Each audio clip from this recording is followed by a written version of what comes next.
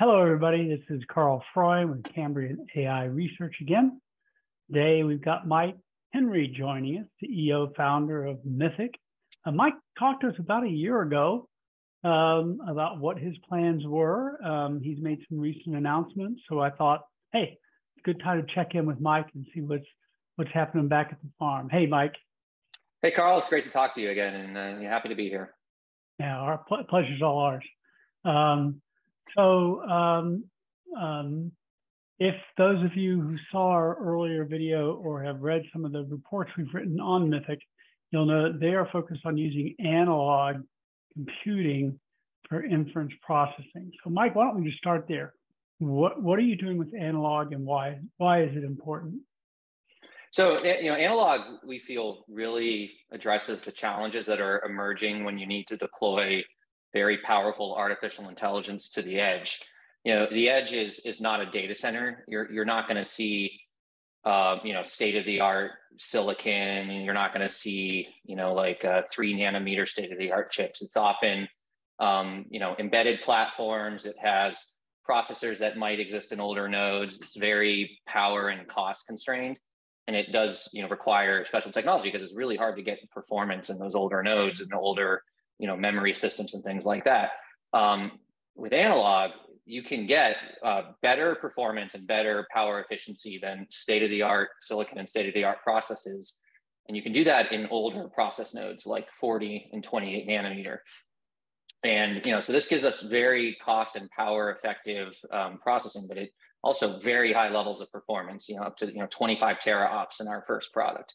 So um, and it, just is really responding to the to the trends in the industry. You know, it, it's really time to get off of the digital trajectory and, and get onto a new trajectory that allows us to get far greater performance and, and still keep the cost and power in check. Wow. So that's a lot of that's a lot of tops uh, for old process technology. That's impressive. And we're just getting started. yeah, and, and, and, that's at very low power, right? Yeah. So so our first product's at at three watts, um, which is you know, it's about the the uh, um, threshold uh, before you you know you start needing a fan. So being able to go to um, customers who might be used to larger, higher power systems with big fans on them, and saying you can have something much smaller. It can be fanless, can be a lot more reliable, and you can get a lot more performance than you're currently getting. You know, is a very appealing um, value proposition to customers. Mm. So that's a market that's primarily dominated by you know uh, microcontrollers and they don't have a lot of AI uh, deployed today. How, how do you go about selling them on the value prop of AI and, um, and, and, and your differentiation? So it start, you know, actually we, we tend to see things coming from two different directions. You know, the first direction might be, you know, they start building the prototype for what they envision and, and they might have some very expensive high-end systems that are, you know, maybe they're labeled edge processing, but it's in reality, it might be a 30 watt, thousand dollar system. And you know, it's good for prototyping, it's good for small volumes, and the customers really need to scale up. And they really see huge challenges in scaling up with such expensive, power hungry compute platforms. And so for them, uh, you know, typically the value proposition is saying you can move to a much more cost and uh, cost effective platform, a platform that's a lot easier to get high volume orders in and, and build you know reliable embedded systems out of, and augment it with our um, compute platform, and you'll get the best of both worlds. You get all that compute you were happy with, and you'll have a much more scalable platform when you want to go to larger volumes. So that's the first direction we see. The second direction we see is customers already have high volume embedded products out in the market. You know, anything from like maybe a video doorbell all the way to perhaps a gaming system or a security camera you know so they, they already have established product lines out in the field. And again you, you typically see you know especially with the higher volume edge products um, you know high volume microprocessors in older technology nodes.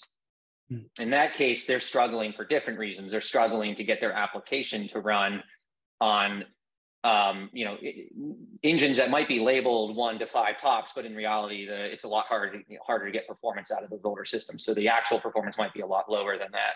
And again, we can come in and say 25 tera ops of performance, you know, much higher utilization, so you really can realize that performance. um, but in a cost and power profile that you are used to seeing at the edge. You know, we're not asking you to slap a 30 watt system into your into your device. So both directions is a very appealing story, and it really just you know comes down to what journey, what part of the journey in the product cycle is the customer at. Interesting. Now, is, are most of the applications vision oriented, um, or or others? So there, I, there are you know a lot of things happening at the edge, and you see vision, you see you see um, audio, keyword spotting, voice cleanup. Um, you see other streams of data like vibration analysis and uh, you know things like processing small sensors, t- the tiny ML world.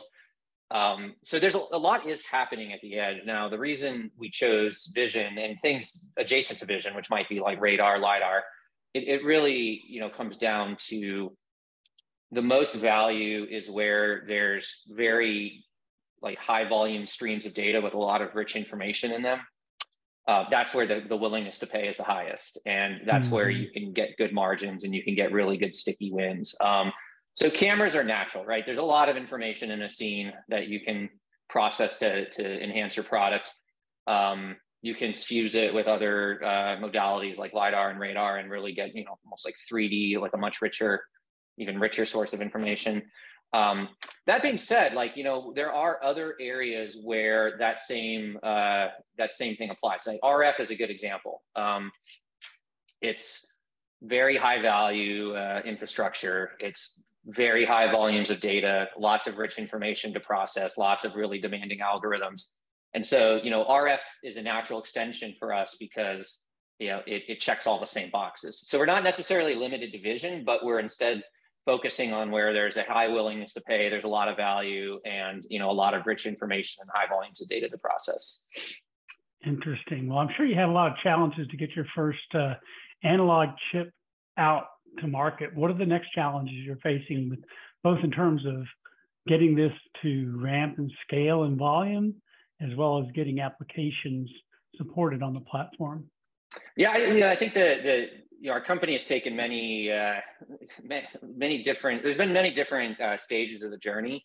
You know, I can think back to the earliest days when people told us like you'll never be able to build even a test chip, and then it was oh you'll never be able to build a chip with that many ADCs on it. Know, we have twenty thousand ADCs, and then we did, and we you know we had a proof of concept, and then it was you'll never be able to get accuracy on state of the art neural networks. You're going to be stuck in the old, you know, CIFAR, uh, MNIST kind of, and then we disproved them and we showed it. And then, and then the doubt goes to you'll never be able to mass produce it. And now we've solved those challenges and we have a pretty clear path to hitting mass production. Um, and then, you know, and then, and then I think the last kind of, uh, the last hurdle always just then becomes the software usability because that ends up being the final bottleneck to revenue is you know how do you make your software really easy for customers to use and um, that is a challenge at the edge i mean it's actually a challenge for anybody doing things like quantization or really aggressive pruning or compression or things like that um, and you know it, it's a challenge to scale that kind of software up and get it broadly usable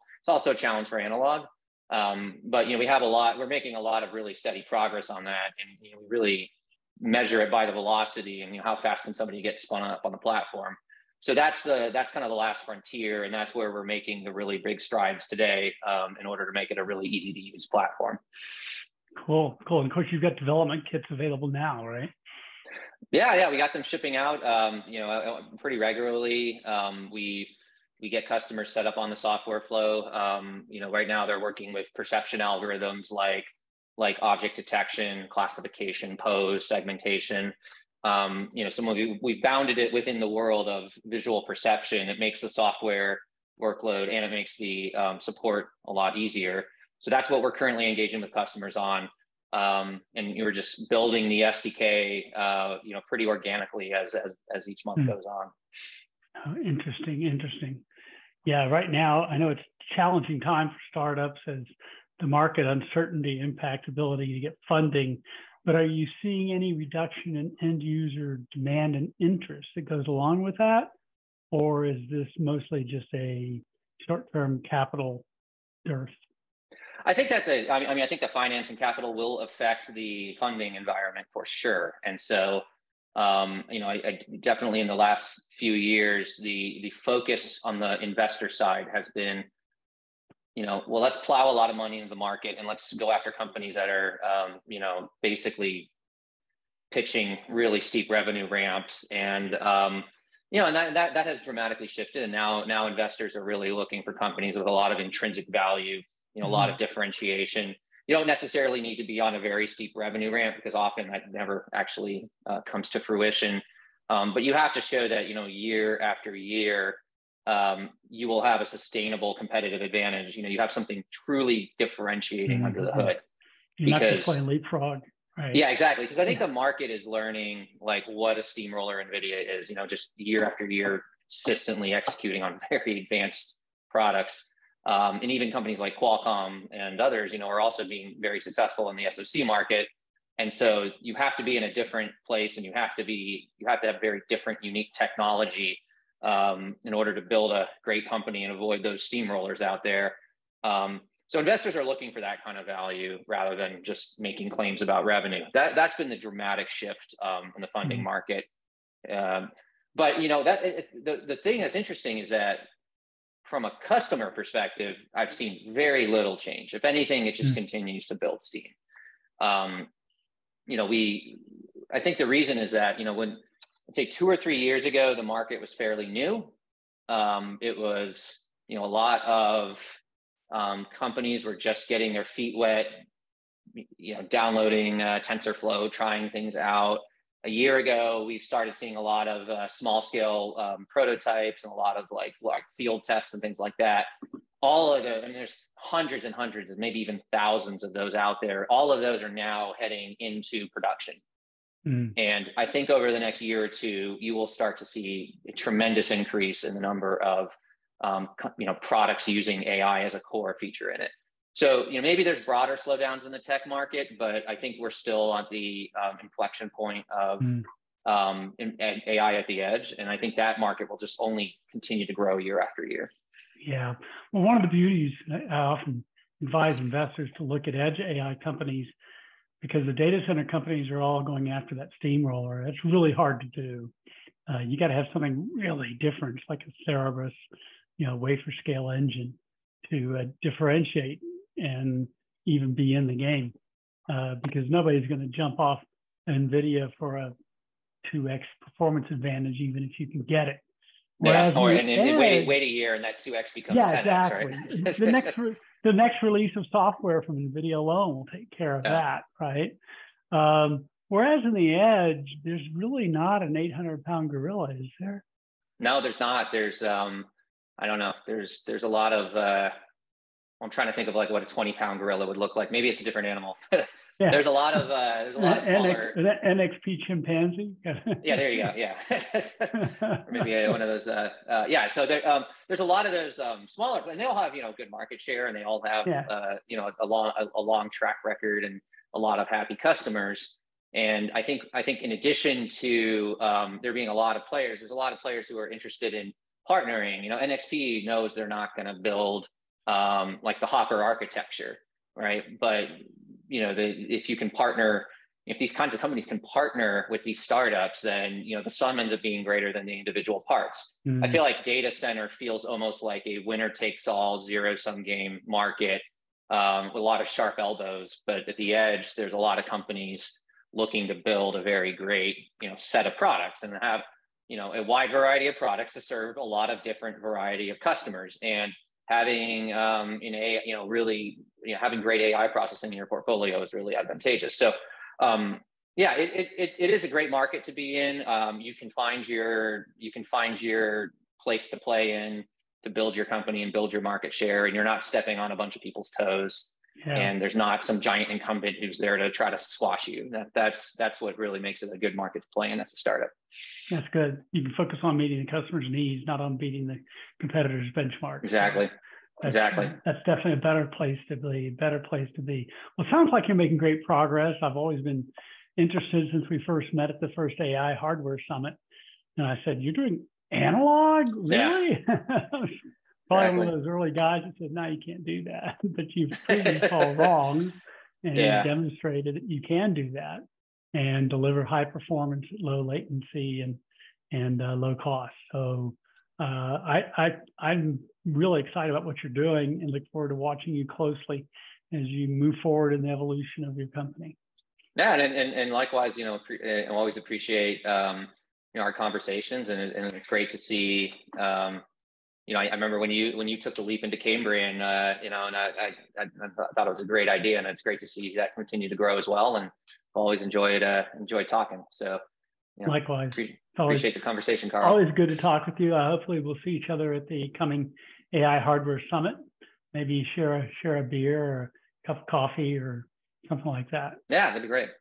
That'd be great. All right, Mike. Thanks for your time. Really appreciate it. And uh, if any audience members uh, have any questions, just reach out to me directly. I'll put you in touch with Mike.